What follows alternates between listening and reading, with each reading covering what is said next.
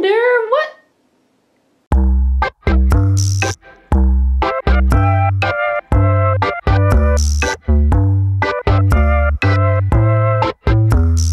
Hey Buffy, Buffy, why have you got your leg in the air? Why have you got your leg in the air? What's this doing here? Why are you doing this? Do you even know? There we go. Oh, we figured out what we were doing. You're horrible! Why would you do that?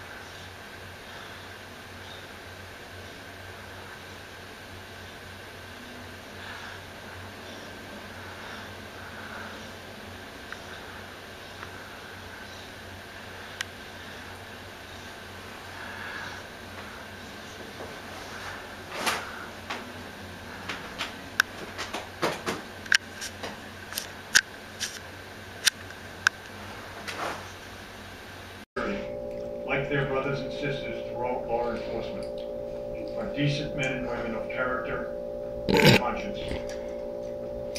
They are no less so than the governors of our states and territories, of our senators and members of Congress, of our city mayors and various ad- advocacy groups. Men and women